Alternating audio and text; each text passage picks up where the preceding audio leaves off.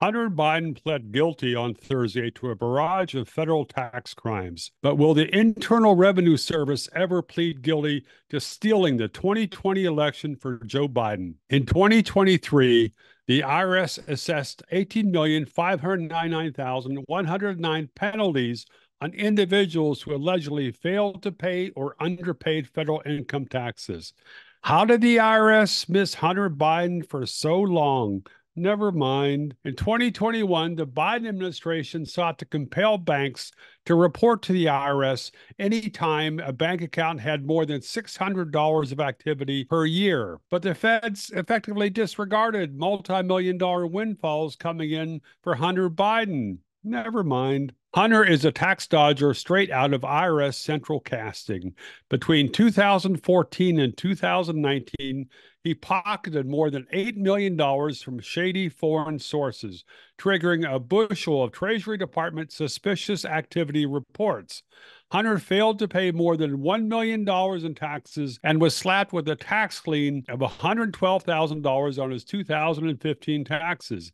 The IRS even threatened to cancel his passport, but no criminal charges were filed. Never mind. The IRS began formally investigating Hunter in 2018. By January 2020, a team of a dozen IRS employees were working on the case, but the Justice Department failed to file any charges before the statute of limitation expired on Hunter's 2014 and 2015 tax violations. Never mind. IRS investigators vigorously pushed to search part of Joe Biden's Delaware estate prior to the 2020 election.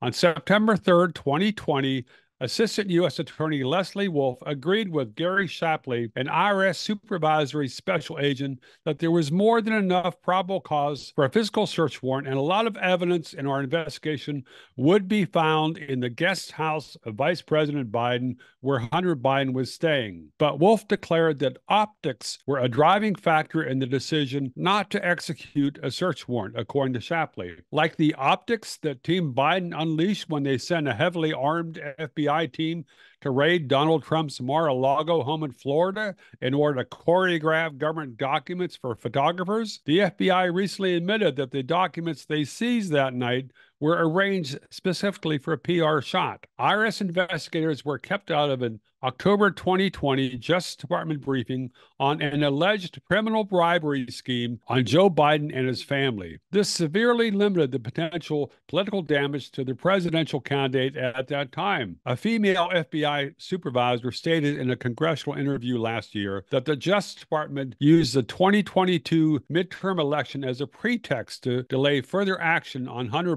Biden's tax case. The IRS's Shapley filed a whistleblower complaint in April last year asserting that the Hunter Biden tax investigation was being blocked because of politics. A second key IRS agent also filed a whistleblower complaint.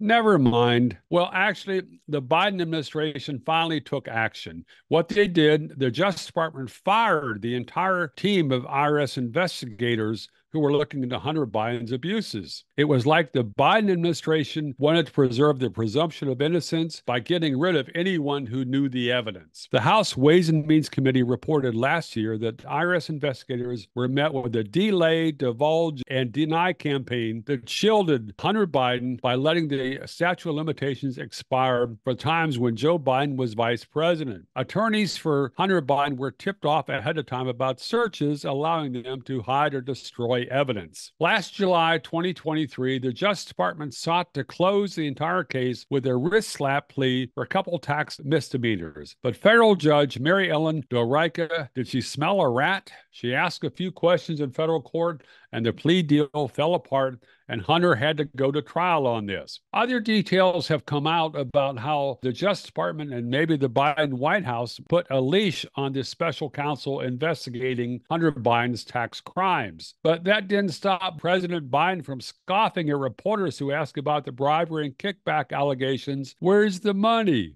Well, IRS investigators were allowed to find it. Biden won the 2020 election by a margin of only 43,000 votes in three key swing states. Biden won because far more Americans considered him honest and trustworthy than Donald Trump. But Biden's honesty was always a mirage created by craven media and federal cover ups. Biden campaigning as Mr. Clean was as absurd as Bill Clinton campaigning as a chastity kid or Donald Trump campaigning as Mr. Modesty. In the final 2020 debate with Trump before the election, Joe Biden proclaimed that my son does not make any money from China. But while he was vice president, Biden took Hunter with him on Air Force Two to Beijing to help his boy snare sweetheart deals. But the media let that go by. It was so brazen it almost made me cynical.